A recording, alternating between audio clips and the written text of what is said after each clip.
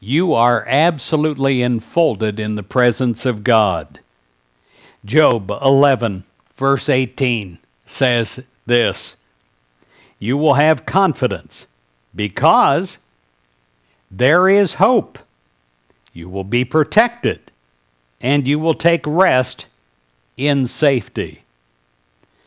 We may feel anxious about various things in life. For instance, you may feel anxious about your children because at the moment they happen to be away from you, because you can't see them or touch them, to reassure yourself that they are okay.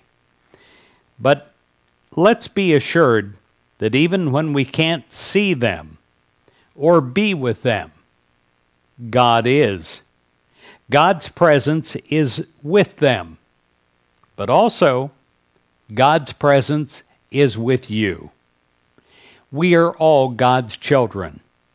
From the tiniest infant to the most mature adult, we each are enfolded in God's loving presence. Wherever we go, whatever we do, God's loving presence is with us. So we teach our children to have good judgment, but we also show them by example what it is to lead a prayerful, faith filled life. God goes with us wherever we go. In God's presence, we are secure.